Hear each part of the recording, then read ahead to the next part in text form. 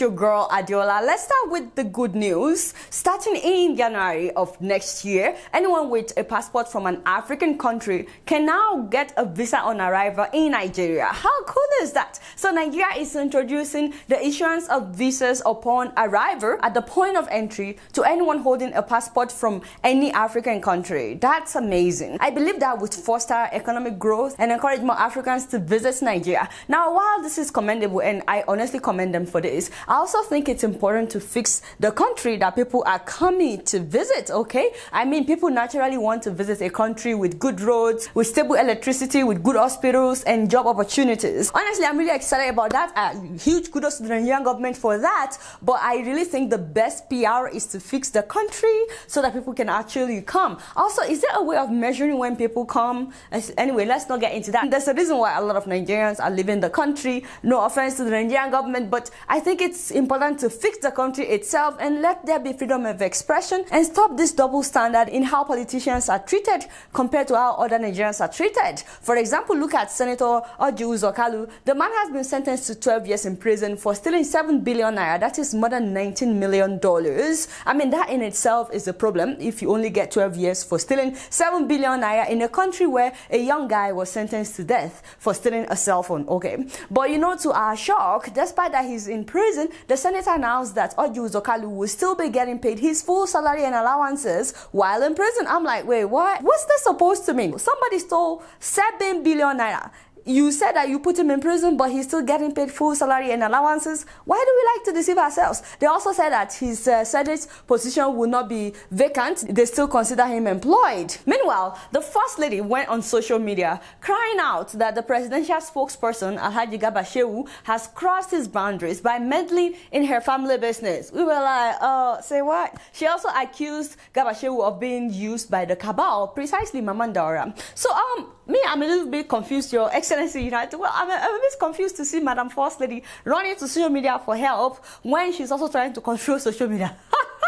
Madam, as much as we pity you and your family drama, uh, actually it's none of our business. You can't run to the same social media that you're trying to censor, I mean, that you're trying to control. Defending you and castigating Garba Shehu may be considered hate speech for which your husband's government is trying to start killing people. So you understand, madam, this is something you could have settled in the other room, by the way. I don't think you needed to shout out about this. Now, speaking of her husband, a coalition of civil society groups has given Buhari a 14-day ultimatum to release Omoyele Sowore and all prisoners of conscience. I'm like, okay, so we're counting down. Although I don't know why it has to be 14 days, just just me, no offense. I was expecting them to say something like, with immediate alacrity, release these people. So as it is now, Femi Adesina, presidential spokesperson, said that millions and millions of Nigerians are not bothered by Sowore's arrest. From what we are seeing so far, a lot of Nigerians are not happy uh, with this development. What do you have to say to Nigerians on this? I, I don't particularly agree with you. When you say a lot of Nigerians, you know that all this noise may be coming from less than 100,000 Nigerians. There are millions and millions and millions of people who are not bothered. Is that true? He actually said that only the minority are bothered.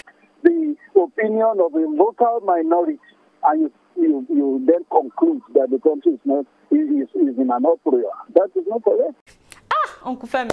You know, in case you're watching, I you call. It's not your fault. You need a salary, you know, so that's why you've lost your conscience. By the way, the minority that Femi Adesina is referring to includes the US, the UK, and the EU. Meanwhile, the presidency has replied by telling them to mind their business. It's so funny that when it comes to medical treatment abroad, borrowing money, sending their children to school abroad, this same presidency adores the US, UK, and the EU. But when it comes to human rights abuses, presidency tells them to mind their business. The devil is a liar, which is why a lot of people right now are saying that Buhari may not honor this 14-day ultimatum. Let me know what you guys think. Do you think he would honor this 14-day ultimatum? As a matter of fact, the federal government has now frozen Sahara Reporters' bank accounts. I guess so that they don't pay their workers. So why would they do that? You know, all this are things that dictators would do, which is why a lot of people are praising Punch newspaper for releasing an editorial where they said that they will no longer refer to Buhari as a president because he has not been democratic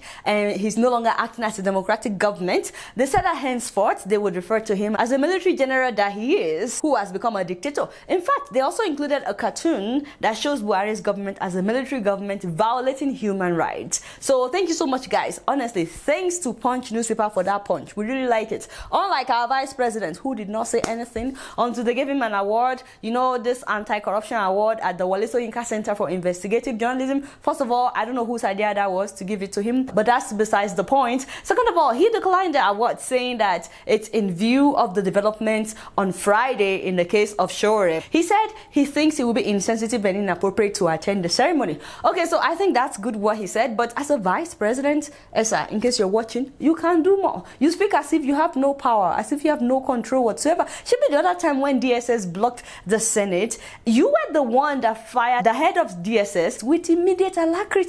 What happened to you, Mr. Osinbajo? Like, for real, what happened? If truly you are not part of what's happening in this government, then step down and you will have some dignity. In fact, if you want to run for office after stepping down, people may vote for you because they believe that you're a man of integrity. But let me know what you guys think about Osinbajo's silence and him refusing an award in view of Sowore's arrest. Is that all that he can do? Anyway, you guys not know much. Guess what? I'm just keeping it real. So moving on to South Africa, ladies and gentlemen, the new Miss Universe is 26-year-old Zozibini Tunzi from South Africa. The new Miss Universe is South Africa.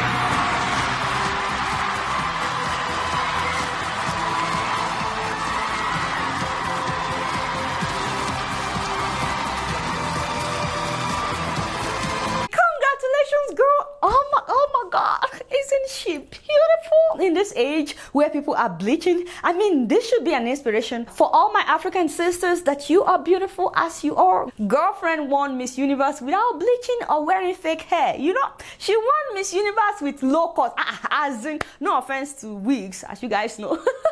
no offense to wigs, you know, but there are some people that we never get to see their real hair at all. Like for real, I have some friends whom I've never seen their real hair, and we've known each other for a long time. I mentioned this to a friend of mine recently, and she let out her hair for the first time, and I was like, "What is wrong with you?" Girlfriend has full, healthy, long hair. And I said, why do you hide this under a wig? We Africans, we need to embrace our God given beauty. You know, you don't have to change who you are for you to feel beautiful or for you to feel accepted. Whoever doesn't accept you unless you use fake things, I don't know if they're the best friends for you. I'm just saying, it's okay to keep you real. And I love what she said in this video. I grew up in a world where a woman who looks like me with my kind of skin and my kind of hair was never considered to be beautiful. And I think that it is time that that stops today.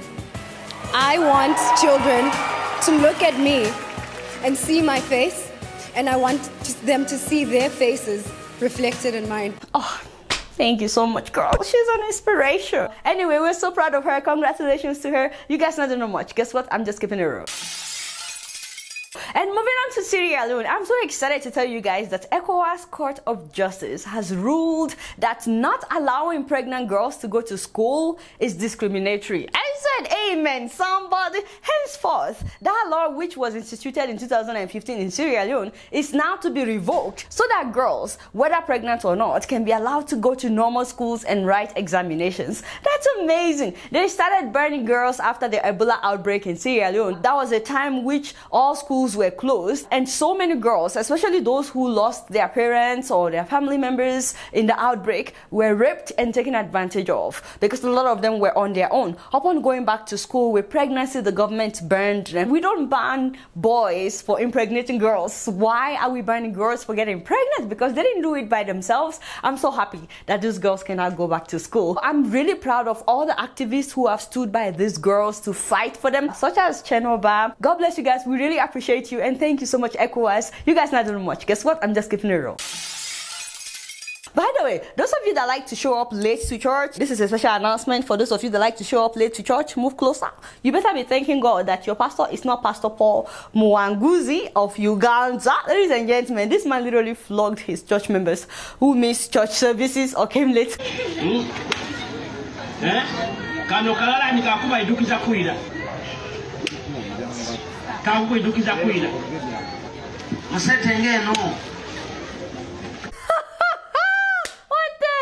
Oh my goodness. To your government office, you don't get beat up for it. I don't know when this started happening in churches. Now, according to a Kenyan FM station, Pastor Paul is actually an ex-convict who was in prison in 2013, but then he broke out of jail in 2014 and ran to Zimbabwe, where he was hiding until he was later deported back to Uganda to finish his prison term with an additional two years. This was Pastor William Mwanguzi soon after his arrest in 2010 for impersonating State House officials. And this is him today at Katwe police station after being nabbed at the Ministry of Internal Affairs as he awaited a passport bearing his new name of Muamba Paul. Police say Mwanguzi, who had since relocated to Eldoret in Kenya from where he operates another church, has been a wanted man in connection to a shooting incident at Natete and possessing a gun illegally.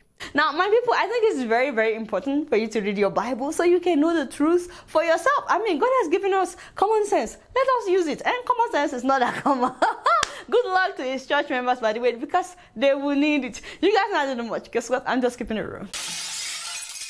So moving on to Ghana, my Charlie brothers and sisters, I've been begging you guys for a long time, like seriously, please find a solution to this menace, by, to the menace by this man who now calls himself an angel. I'm talking about Pastor Obinim, now known as Angel Obinim. I've talked about him several times on this show. He so much believes that he's an angel to the point where they now paint a picture of him as an angel as the backdrop at his churches.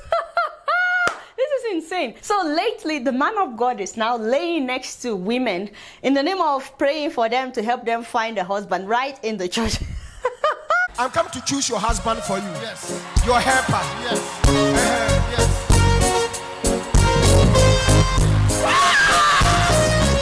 Now, let me finish. Um, so that lady said that she was in Saudi Arabia where she was forced to work for two years without getting paid, and then she was jailed in Riyadh for two years after she was abused. So she said that she prayed to Angel Obinim. She didn't say that she prayed to God. she said she prayed to Angel Obinim. Now people can pray to him. She spent two weeks at the prison before she remembered that she had been following you on YouTube, so she knows what you can do. So according to her, she prayed the prayer Angel Obinim. I don't have anybody Ghana and Saudi Arabia. Please, I'm helpless. Come and help me. That was the prayer she prayed in the prison. That night, she said she was sleeping. All of a sudden, you appear in her dream. And then that he showed up in her dream telling her that she will be released in five days. And five days after, just like she saw in her dream, a Saudi woman came to bail her in prison. This woman gave her travel documents, plane tickets, in order for her to get back to Ghana. And the Saudi lady told her that she's actually Angel Obinim. She's just disguised as a Saudi woman. Then the Saudi Arabian woman led her to the airport and asked her to sit down. So the Saudi Arabia woman went through the process and came back, held her hand, sent her to departure hall, and told her, I want to tell you something. Make sure you don't shout. The lady you are seeing here, it is not me, oh, it is Angel Obinim. Physical, physical.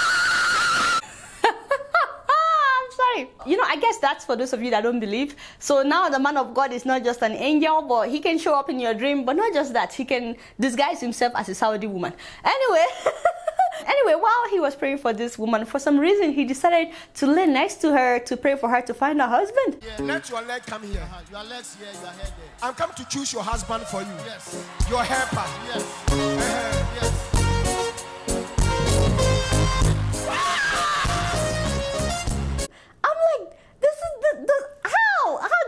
Make sense. And what has that to do with her being in Saudi Arabia?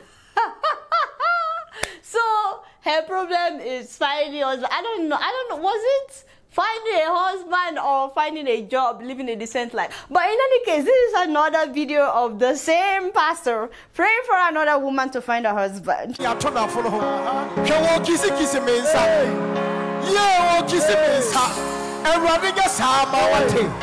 turn down for kissy kissy Yeah, kissy awurade gye bɛrima papa ma sista yi. Hwɛ sɛ wɔn kisikisi me nsa. Yeah. She is kissing my hand. The lady is kissing my hand. I open your marriage doors for you. Amen. so receive your husband. See i'm tired. I'm tired. These people people need to stop. They need to stop all this nonsense in the house of God. Like, seriously, what does prayer have to do with pastor laying next to women in church?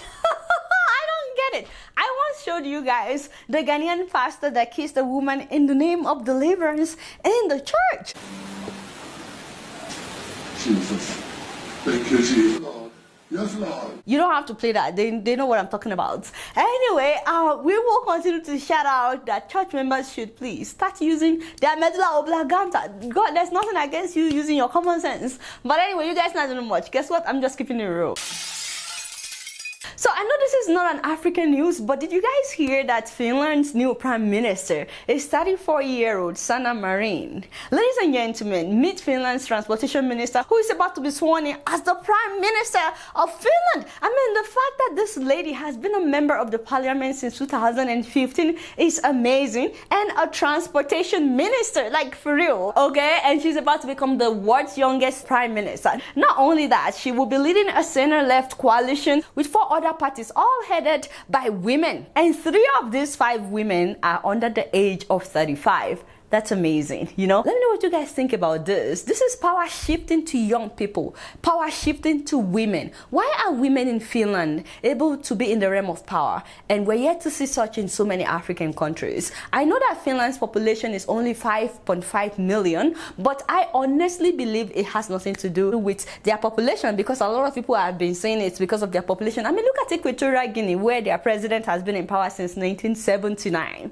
Equatorial Guinea is 1.2 million people. Gabon, where the president recently put his son in charge, I told you guys about that. There are 2 million people. Togo is 7 million people. So I don't think that this is about population. Meanwhile, the Gambia is only 2 million people, and their vice president and the previous vice president is a woman. Do you think that not having women in realm of power in so many African countries, despite women being half of the population in most of these places, do you think it's the fault of the men? Or the women are not determined to be involved, or is it the fault of the system? When will something like this happen in your country? Congratulations to the new prime minister. Anyway, you guys not know much. Guess what? I'm just skipping it real. So please, please, before you go, you guys, please listen to this very important announcement. I'm really excited that SendWave that I advertised for, they've decided to donate $5 each time someone signs up to one foundation that you guys decide. As you guys know, when you use my name Adela as promo code, they've been adding $10 or 10 pounds to whatever you've been sending to your loved ones up until the 10th of this month. But now going forward, if you sign up for the first time and you use my name as promo code, they will add $5 to what you're sending to your loved ones, but the remaining $5 is being saved in order to donate it to one foundation that you guys vote for. There are four foundations that they are considering right now. The first one is Youth for Technology Foundation, which runs programs that address skills gaps in established education system. They encourage young people to see entrepreneurship as a viable career. Their training also emphasizes STEM subjects in order to help build the foundation for sustainable career choices. They also provide financial inclusion and business training to empower women with the skills to manage their own lives, their households, and their businesses. At Youth for Technology Foundation, we invest in young people. We invest in their mothers, the women in the community as the economic pillars of the societies that we serve. That's amazing. I mean, what you're doing is amazing. This foundation is founded by Njideka Harry. She's Nigerian. Also, the second foundation that SendWave is considering is Medics Abroad. This is a foundation that provides healthcare professionals the opportunity to explore and broaden their horizon by traveling and learning within the clinical environment and beyond, especially in Africa. I mean, it's a great foundation founded by Dr. Adanna Steinacker. I'm sure you guys have seen her videos, her and her husband on YouTube. Their YouTube channel is Adana David, and they're doing amazing things. They're helping doctors to travel, especially to see different parts of Africa. My name is Dr. Adanna Steinacker, the founder and CEO of Medics Abroad. Whatever you see in your textbook, you literally see here. It's made me really appreciate everything we have and it's made me realize that it's important to give back to your society. Now, the third foundation that they're considering is Aid for Africa, and they are creating libraries in Zambia to serve vulnerable children and youth. Their libraries also serve as safe havens for all children, including children with disabilities and children that are out of school or children with HIV AIDS. So their libraries give these children educational opportunities and a means to improve their literacy levels, their language skills, and their senses of self-worth. I'm like, wow, all these foundations are doing amazing thing. But guess what? We are also on the list. The last foundation that Sendwave is considering their donation to is Kiwa Foundation. That is keeping it with Adeola Foundation.